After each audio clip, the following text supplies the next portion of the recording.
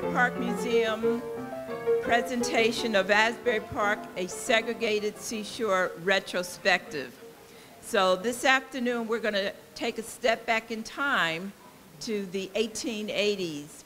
And of course, everyone's aware that this is the 150th anniversary of the founding of Asbury Park, 1871. But we're going to go back into the 1880s um, to do a reenactment of what life was like in that period of time with respect to um, segregation. And keep in mind, it wasn't just Asbury Park. It was all along the shore and all in the, north. Um, and hopefully you'll have a chance to learn the nuances of what actually transpired in, um, you know, throughout the decades. And I know it's a very serious subject, but I think it may also be kind of fun because when you start to hear the, um, the text and the lines and the, of um, the verbiage of what's being communicated, it's like you say, uh-oh. And uh, so anyway, so there'll be a lot, a lot that you hear that you might feel uncomfortable with, but just keep in mind it's a part of the portrayal of history. So we're going to get started and enjoy the presentation.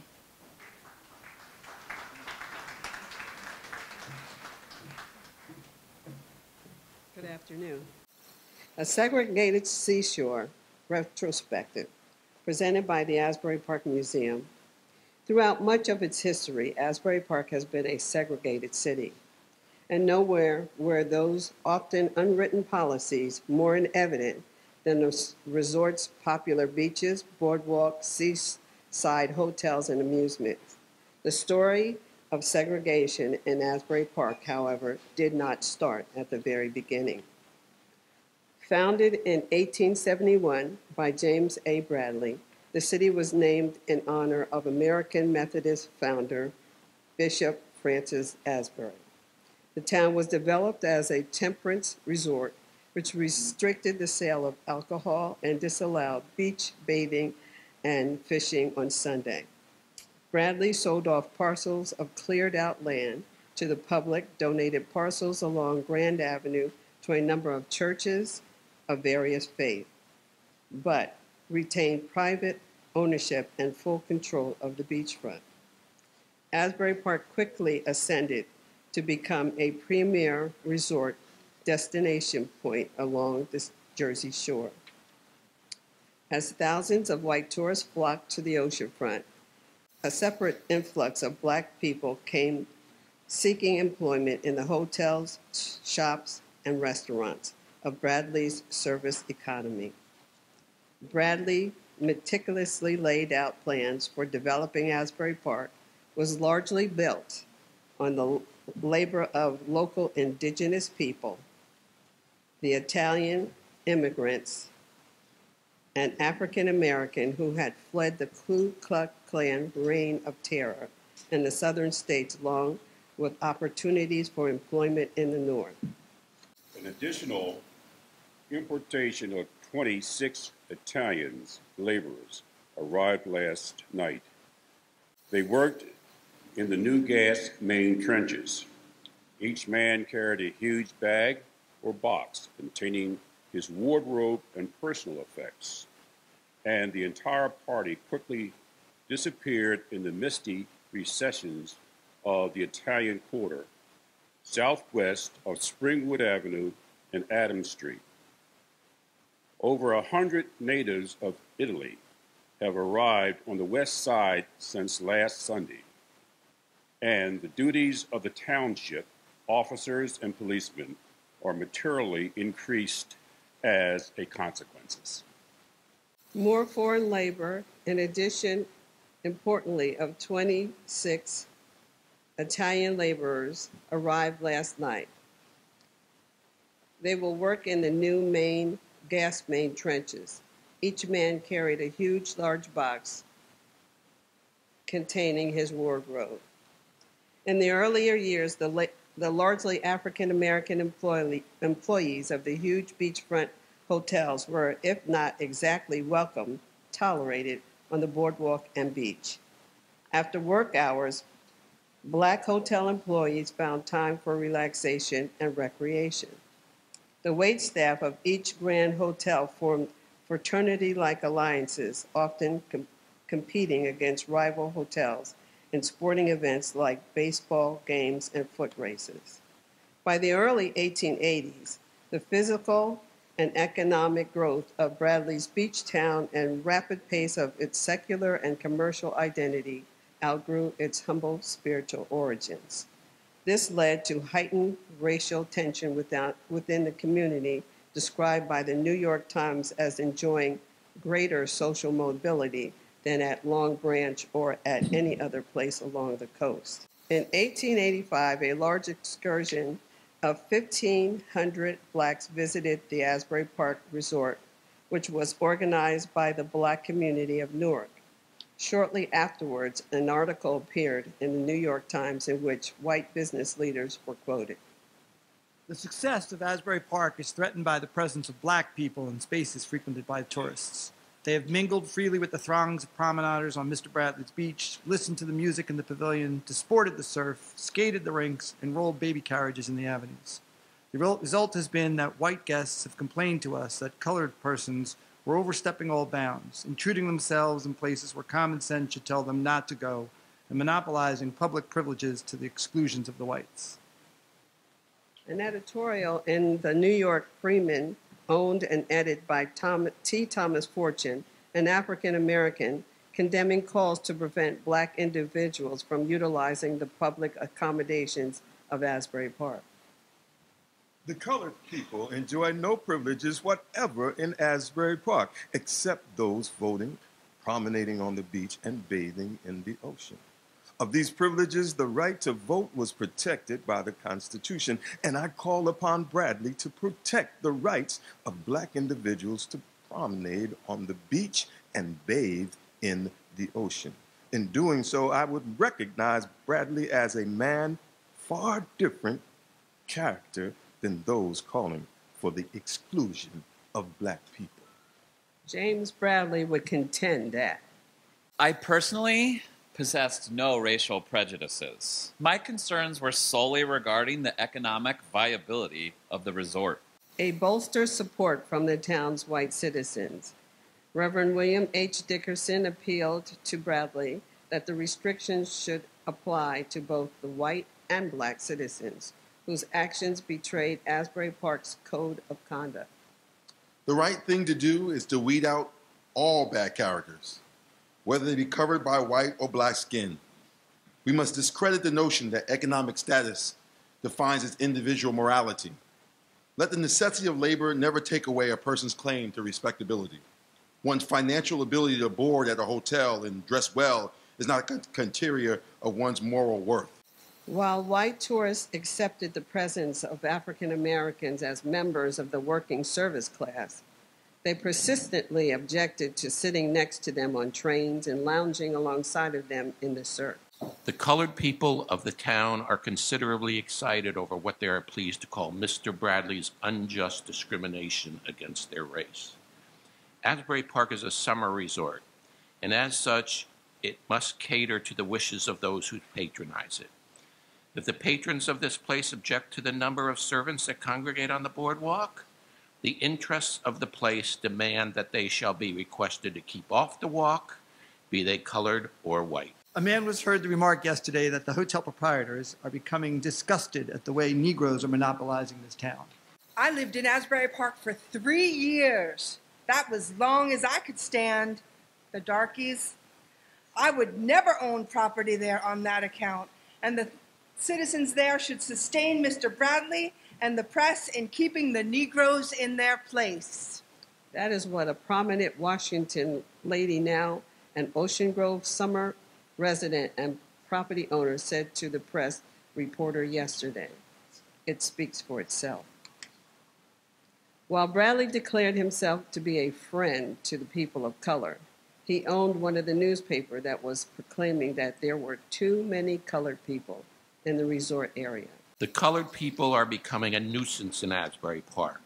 We allow them to vote, to have full standing and protection in law, but when it comes to social intermingling, then we object most seriously and emphatically. By uh, 1887, Bradley officially restricted all African Americans, both those who worked here as well as those who sought to vacation in Asbury Park from the beaches and other shore facilities. Bradley had signs posted throughout the community and stationed officers at pertinent shore locations prohibiting all black citizens from the beaches, bathing houses, pavilions, and promenades.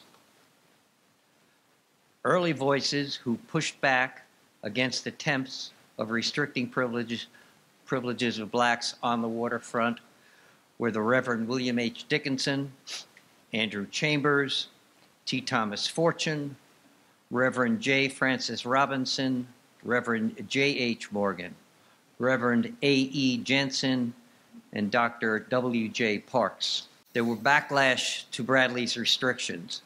Bradley's public stance drew backlash from the residents of West Park. Reverend J. Francis Robinson, pastor of West Park St. Stephen's AME Zion Church, was one of the leading voices against segregation and firmly rebuked Bradley from the pulpit. Uh, it was stated that from the pulpit at the African American Episcopal Zion Church on Union Avenue in Asbury Park on Sunday that an in- indignation meeting of the colored people in Asbury Park would be held at the church on Monday evening to protest against the published threats of Mr. Bradley. It, take, it takes uh, means, means to include the colored people from the, from the beach on account of their mo- monopolizing the seats uh, to include exclude the white guests at the hotels and the uh, cottages. At last night's meeting, the church was dimly lit with kerosene lamps. There were about 250 people in the church when the meeting was called to order. A majority of the audience were women. About a score of white men sat in the rear eh, end of the room, and seven reporters occupied two tables in the front. Reverend James Francis Robinson was introduced as president of the meeting. There was a prolonged burst of applause, and Mr. Robinson stepped forward and bowed.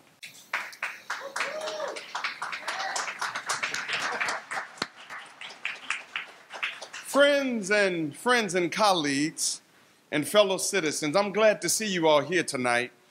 I'm here to speak dispassionately, dispassionately in defense of our rights and liberties.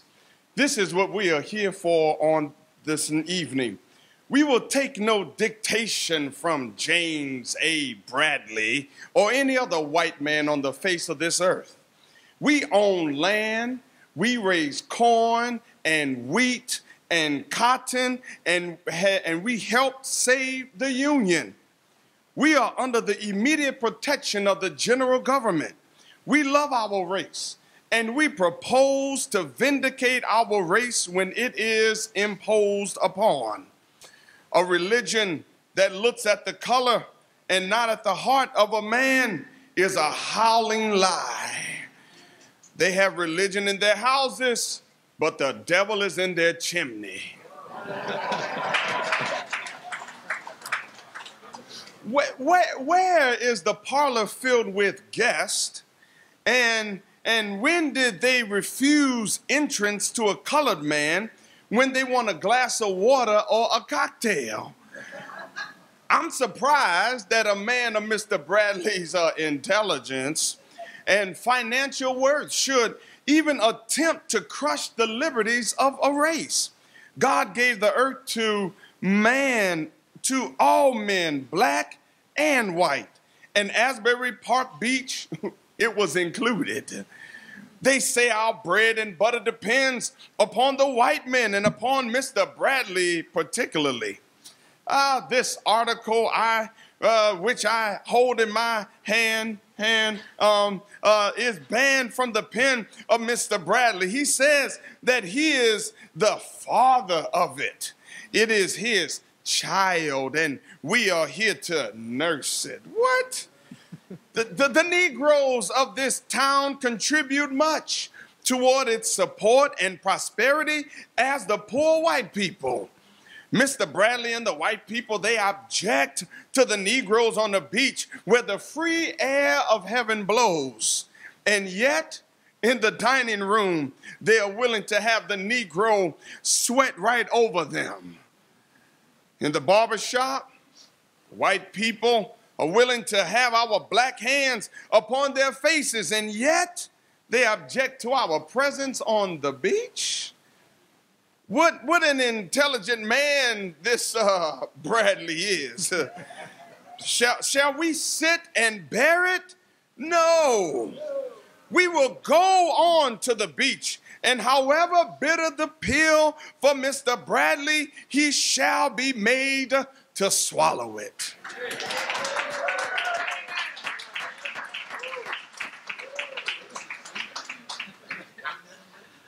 A lady friend of the Daily Press suggested To avoid all trouble over the color line on the beach, a separate bathing ground should be set apart for the coloreds.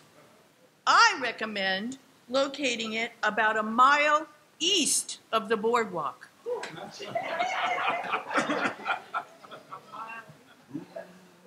Bradley's stance on restricting people of color from the beach was met with outrage elsewhere in the region.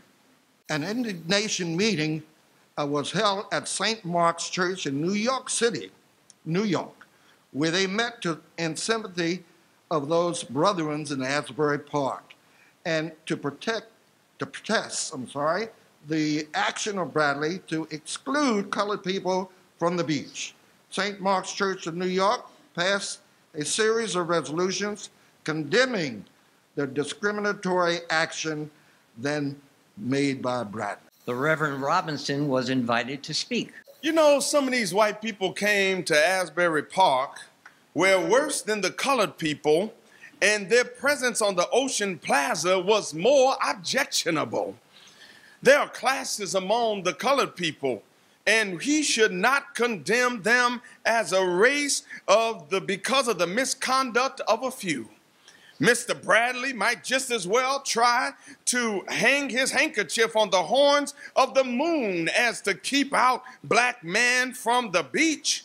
We fought for liberty and for the salvation of this union, and we are going to enjoy the peace of it. Bradley's response to the protests were he defended his actions in an Asbury Park press article from 1887 stating that I understand they, they accuse me of being antagonistic to the Negro race. This is not so. I am and have always been a firm friend of the race. but I would not be doing justice to the vast amount of capital that is invested in everywhere in Asbury Park if I allowed my sentimental feelings to assert themselves to the deterrent of this town. I'm free to admit that I wish to discourage the great number of colored people coming here, not because I have any feelings against them as a race, but because I find that the patrons of the park object to their great number. The number of colored and white people is disproportionate here in the summer, and whenever that occurs, there will be trouble amongst the races. Now, for instance, there are 100 Italians here building the electric railway. Now, if they would stay on after the work is done, there would be nothing for them to do, and the same principle would be hold true in regard to the colored people. And any class here without work is in the way in the summer.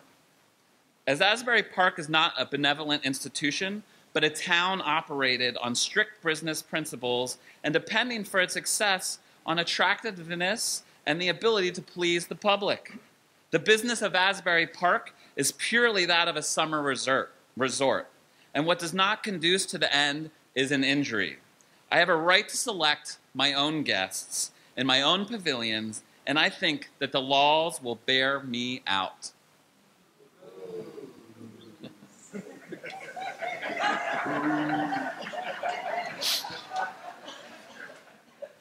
That's the best you can do? The Reverend Robinson organized a series of indignation meetings, rallies in opposition to civil law distinctions on the basis of skin color.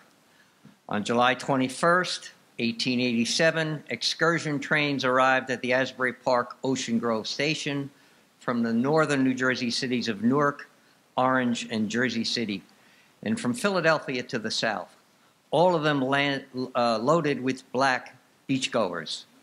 They met at the Ocean Grove Auditorium, where they celebrated Jubilee Day, singing spirituals and listening to speeches. Though none of the orators mentioned Bradley by name, their talk of liberty and freedom made clear what was on their minds. Another form of protest at the beach created by the Reverend Robinson was called the Wade In, in which black locals waded into the ocean en masse and lay upon the sand in defiance of the official restrictions. This was a precursor to the sit ins that were popularized 80 years later in the 1960s. In those days, bathers would pay about 20 cents for rental of a bathing suit, towel, and changing room before heading to the beach. But for the next couple of years, people of color were denied such bathing privileges in Asbury Park. In the early years, Beachgoers were not allowed to wear their beachwear on the boardwalk. They were required to use changing rooms. Thus, without access to means uh, or means to the beach house, bathers could not have access to the beach. Under pressure to resolve the race issue in the summer of 1889, Bradley came up with what he felt was a solution. He proclaimed the hours between 5 and 7, generously, to be commission hours, which people of color could use the beach. Black bathers could only use one specific bathhouse run by Jacob Parker, a black bootblack who operated out of the Second Avenue Pavilion. There, they could rent a changing room along with a bathing suit and towel, specially marked commission hours, at a reduced rate of 15 cents. Bradley thought his idea of commission hours was brilliant. Of course he did. And his local newspaper wrote that the innovation had caused general satisfaction among the colored people and seems to provide a solution for the most difficult part of the colored question. Of course, the commission hour plan was doomed to failure, as apparently black people didn't want to go to the beach at five any more than white people did. And during the first month after the plan was put into effect, the largest number of black bathers taking advantage of the solution was no more than six. Please make sure you know it's 5 a.m. Do not listen to the narrator. We should be mindful that Asbury Park had a presence beyond New Jersey, New York, and Pennsylvania borders the hypocrisy of the North. An editorial in the Texas Fort Worth Daily Gazette, July 5, 1889. Even if the northern hotels and sleepers did refuse to take the medicine they insisted upon prescribing for their southern contemporaries in the pure and purifying waters of Coney Island, Long Branch, Cape May, Nantucket, Asbury Park, and other resorts, all men would be free and equal among a people who so strenuously insisted upon such equality among other people. This compromise does not admit the races into the water during the same hours. and marks the towels, lest by chance the white hand and leg should be dried on the linen that had performed the same service for the black hand and leg a week before. Viva la humbug. A year later, in 1890, James Bradley established a separate area for people of color, setting aside a strip of beach and boardwalk between First and Second Avenues for their exclusive use. He employed black bathhouse attendants and lifeguards with the designated area, for which, at least for the first year, black bathers were restricted to the hours between 3 and 5 p.m.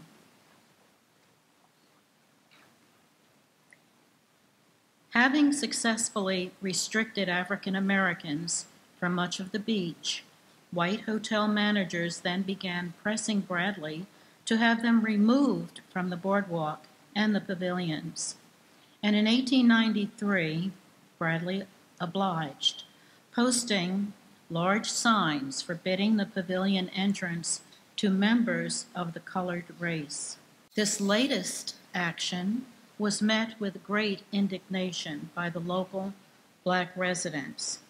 A community meeting was quickly held in West Park at Marrow Hall, chaired by the Reverend William H. Dickerson. The much talked of mass meetings of the colored race was held last night at Marrow Hall on West Park. At 8 p.m., about 100 people assembled, but as the news spread, a crowd numbering nearly 500 crowded into the little room and clustered around the open doors of the windows. After 40 white people were noticed in attendance. The meeting was called to discuss the signs which James A. Bradley had posted on the pavilions forbidding, forbidding their occupancy to the colored race. We're here tonight to discuss calmly and dispassionately a question that has confounded men ever since its inconception. The question of the association of the white and colored races. The main issue tonight is an indiscriminate prejudice against the colored race, which is in truth, in fact, is unreasonable as it is rampant. It has no foundation in philosophy or law. To say that a man's skin has anything to do with his heart and his soul is to make a statement that cannot be proved. Mr. Bradley has undoubtedly had sufficient cause in his own mind to prohibit the colored people from the pavilions. He has been urged to the action by hotel guests who have been annoyed by some colored rascals who have deliberately made themselves obnoxious. Mr. Bradley will probably say that the just must suffer with the unjust. This is a mistake. He should discriminate. There are white men in Asbury with whom I would not associate with. A white man met me at the Fisher Pier today, and his first remark was, I'm glad the troublesome Negroes have been driven from the beach. They ought to be shot. To my mind, he represents in large degree those who have been petitioning Mr. Bradley. This should not be. Mr. Bradley's heart is in the right place. If they would only let it stay there. The resolution has been proposed at hotels and colleges should not employ colored persons. Try it, and they will find out that the white servants are just as obnoxious.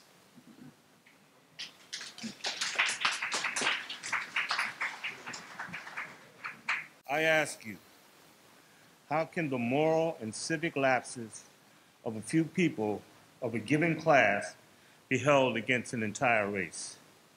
It does seem strange that many of our friends on the other side do not seem to be able to distinguish the difference between colored people in regards to moral, religion, or the right of manhood. And those of them who admit, admit it, seem to view the same light as the boy who visited a country fair and saw a cow that looked all the world like his father's cow. You could not tell them apart. All colored people are alike. Seems that the maxim, especially if there's a finance to be considered either by action against us or indifference towards us.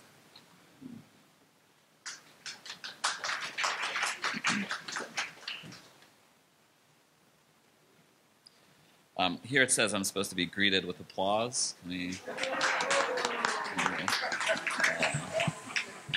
Sorry.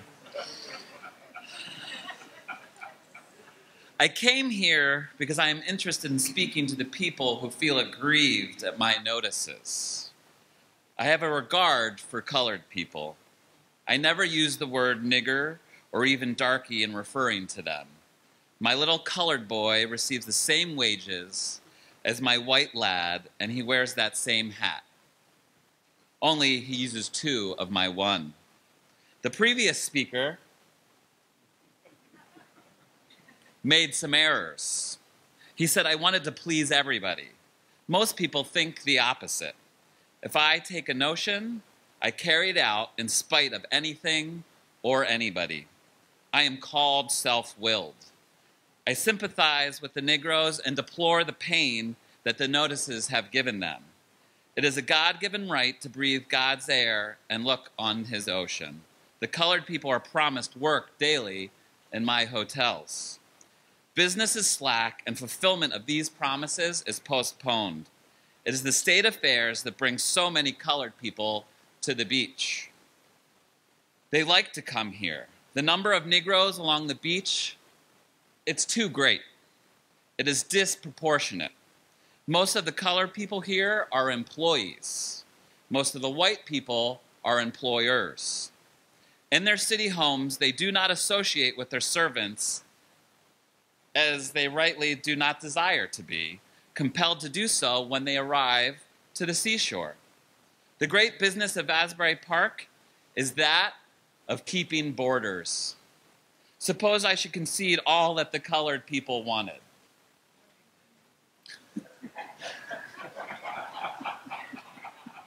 well, you say that. The whites would then leave. The resort would be. Amen to whoever said that. Um, the whites would then leave, the resort would be ruined, and your means of livelihood gone.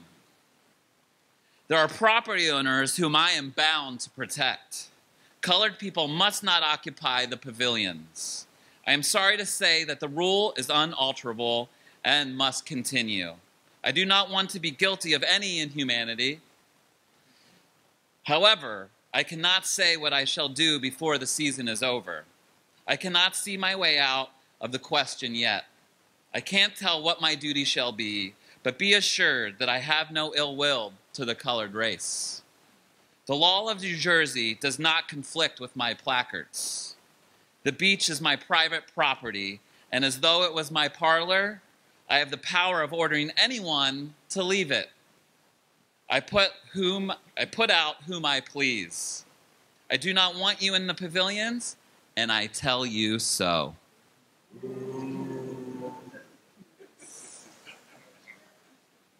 The following year, Bradley changed the wording of the signs he'd hung in the pavilions. Instead of barring black individuals from using the pavilions, the signs were changed to bars bar employees of hotels from being in them. The change in language was done so as to create a race neutral rationale for excluding black people from the pavilions. Over time, the perception of acceptance of blacks on the beachfront appeared to be on the upswing, with many clubs and cottages on Asbury Park's west side being an additional huge draw for black Americans. In the early 1900s, Asbury Park was said to be the New Jersey shore town most open to elite black Americans seeking a weekend or holiday at the ocean. One of the most prominent black newspapers of its time, from 1887 to 1960, the New York Age, owned by T. Thomas Fortune in Red Bank, reported in 1906. Fewer restrictions on account of color in Asbury Park this season than during any past season. And a movement is on foot among the property owners to remove every vestige of discrimination on account of color. By 1903, Bradley had relinquished control of the waterfront selling the beach to the city. Five years later, it's 1911. A peculiar condition exists on the ocean front at Asbury Park this season due to the attempt of someone in authority to shut out the colored visitors entirely from enjoying the bathing privileges of the deep blue sea. When colored visitors reached their normal Second Avenue swimming location, they were surprised to learn that they no longer had privileges at this beach. At a subsequent Sunday afternoon indignation meeting at Second Baptist Church, it was agreed that the community would swim anywhere along the beach that they desired.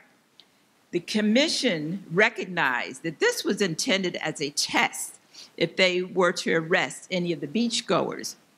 They also recognized that the city would likely lose in court. So on July 4th, the large crowd composed of white and colored pleasure seekers witnessed the unusual spectacle of both races bathing together, a state of affairs that has not existed at Asbury Park for years. So long have the colored people been using, used to bathing together that they do not seem to be anxious at all about mingling in the ocean with the whites, who, on the other hand, do not seem to be particular about mixing either. And by the way, Reverend um, A.E. Jensen, rector of St. Augustine's Episcopal Church, and Dr. W. Parks led the fight for bathing grounds for Negroes. And many of you may not be aware, um, Dr. Parks is the gentleman who owned the house that was eventually donated and became the Westside Community Center. That's just a little sidebar. Now, the backdrop to the beach having been closed to the coloreds, a new building, which included a swimming pool, was recently elected on the boardwalk at the same site formerly occupied by the bath bathhouses used for the colored bathers, and that would be the Second Avenue pool or the natatorium. So the action by the commission to close the First and Second Avenue beach to the colored bathers was to remove their presence from view of the white vacationers. Now, to avoid publicity or legal obstructions, the commission arranged for 32 beach houses to be built and erected at Asbury Park's north end. The beach houses were carted on wagons and set on the sand north of the fishing pier at 8th Avenue. They probably did it at night. There was an immediate uproar and protest by the hotel and college owners located in the north end, which thwarted the plans to relocate the Negro Beach.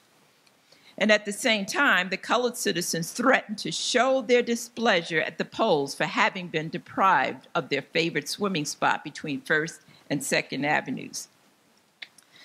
So the commission rectified the situation by reopening the First and Second Avenue beach for the colored citizens.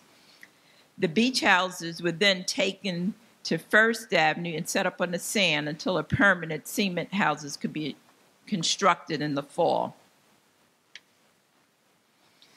The segregated Second Avenue beach arrangements, therefore, continued until 1915, as did the continued protest of hotel managers in the heart of the hotel district.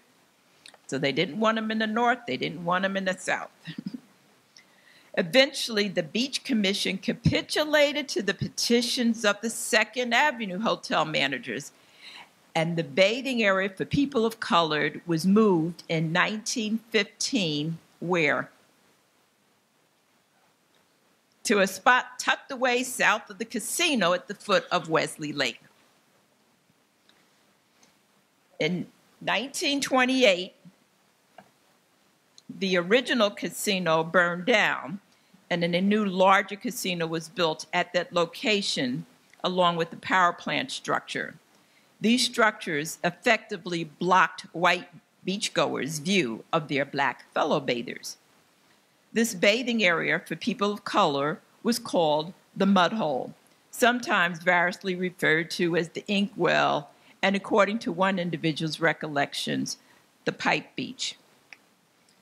The mud hole remained the only place in Asbury Park where black people could swim through the 1940s and into the 1950s.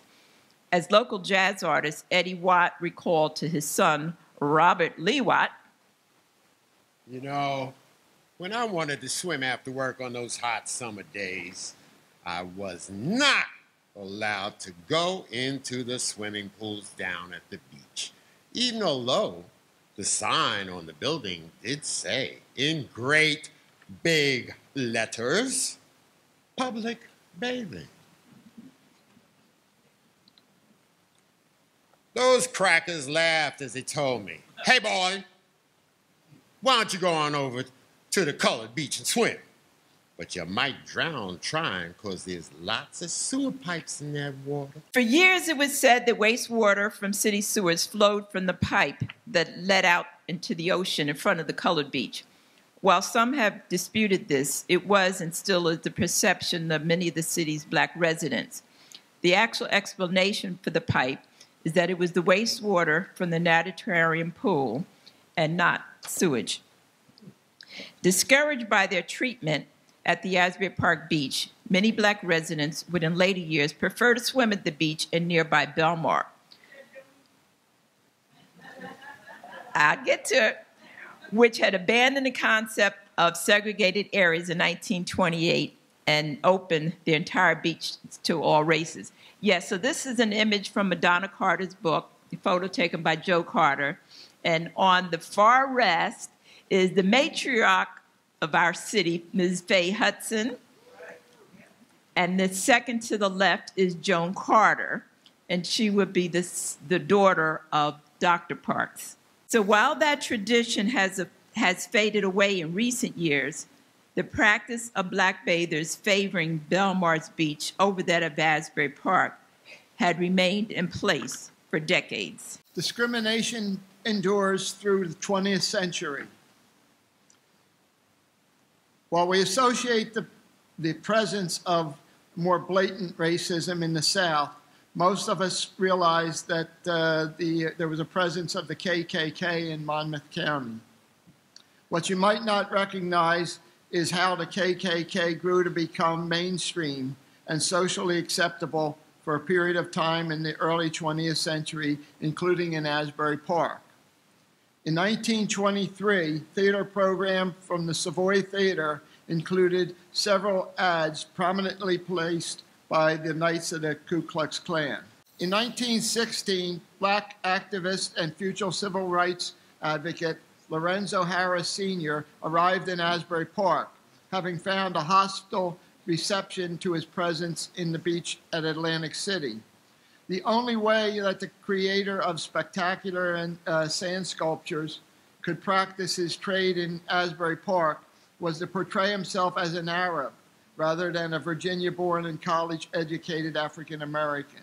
Eventually, abandoning this rouge, Lorenzo Harris would go on to found the local chapter of the NAACP along with his wife Catherine, become a founding member and president of the Westside Community Center, serve as an officer of the original Asbury Park Historical Society, and inspire his physician son, Dr. Lorenzo Harris Jr., to become the first person of color elected to Asbury Park City Council.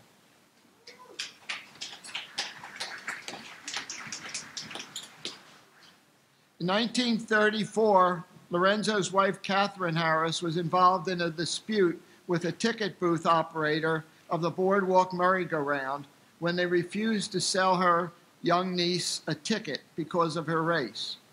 When the operator forcibly removed the child from the merry-go-round, a physical altercation occurred and the police were called. Lorenzo and Catherine took the owners of the merry-go-round to court and pressed charges. The matter was settled when the merry-go-round owners took out a half-page ad in the local newspaper stating that it was not their policy to discriminate. During the uh, during a 1985 interview with the Associated, I'm sorry, with the Asbury Park Press, Catherine Harris recounted the incident of her niece being denied access to the Carousel House. I had been part of the committee that went to council asking that this type of thing be stopped. So this encounter should never have happened. After the ticket operator refused to sell my brother in law and niece two tickets, I put my mouth where the small hole in the cage was and said, He wants two tickets, lady. He wants two. Two tickets. She ignored me and kept pushing that one ticket and nickel change. The operator came over and snatched the ticket out of her hands and pointed to what was printed on the back. Management reserves the right to refuse service to whomever they cared to. You're not going to ride. You can get away from here because you're a troublemaker. you are here running this business, catering to the public, and we are part of that public, and we demand to be served. I took the ticket, put it in my niece's hand, put her up on the horse, and stood there. The operator took the ticket out of her hand and took her off of the merry-go-round horse. I grabbed him in the front by his shirt with my right hand, right hand, and the back with my left hand, and I was trying to batter his head into that wooden horse. But he reached up and grabbed my wrist and squeezed it till I had to release him. He told the woman in the ticket booth, call the police. The policeman told the man that he was wrong and to give the ticket back. The man was so angry his lips were trembling. You take this ticket and you ride, and after that, you get away from here because you're a troublemaker. I said, This is not the end. It is only the beginning. We will meet again. After telling my husband Lorenzo what had happened, he said, We'll take care of that tomorrow. We were going to court to press charges. It was in the paper, and we'd called our friends. So the courtroom was packed. We had our lawyer. The concession owners, Seegers and Goldberg, were very apologetic and denied that they would want anything like that to happen. No, indeed. We wanted the woman fired, but they pleaded, oh, she's a widow, she has children to raise. So they denied emphatically, right through the whole thing, that it was the policy. That it was the policy to do such a thing. Lorenzo said, if you insist that it's not the policy, and if you will make a statement to that effect and publish it in the press, we'll drop it. We'll settle for that. Oh, yes, Mr. Harris, we're willing to do that. You can go to the press with us and you can write it. We'll take half a page ad and you can word it for us. From now on, I assure you, this will never happen again. And that is how it was settled. All the concessions were open to Negroes then.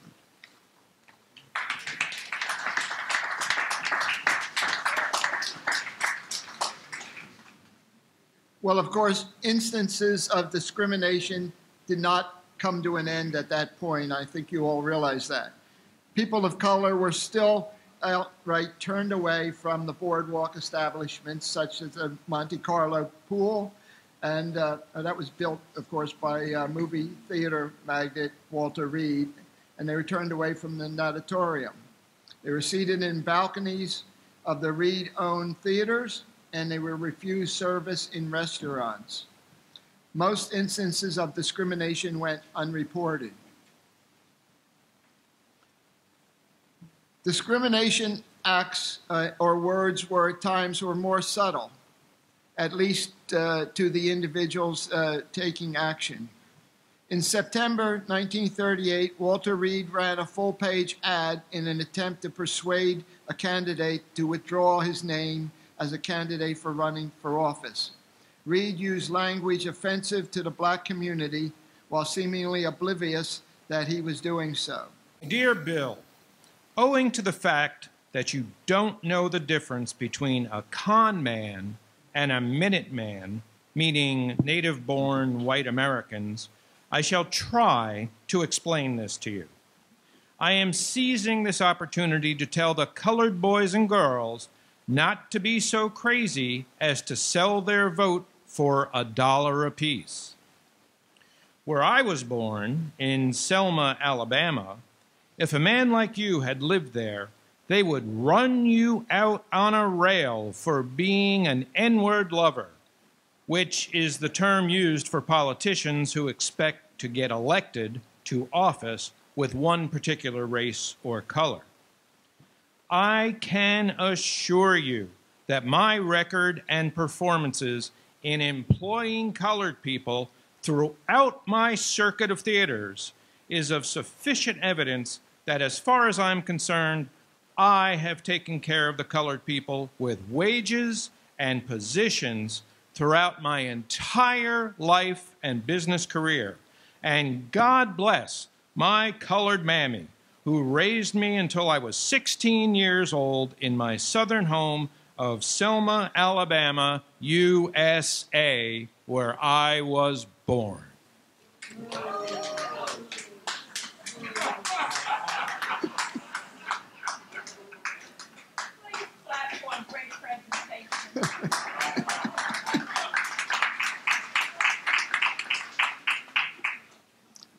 Well, the, uh, the reaction from the citizens to whom Reade was trying to appeal responded swiftly with their own large layout in the AP press.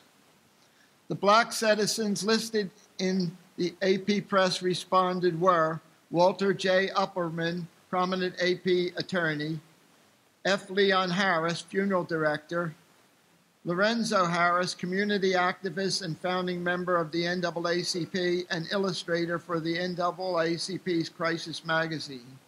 Dr. J.C. McKelvey, Long Branch president of the NAACP Atlantic Highlands, and Dr. James W. Parker from Red Bank.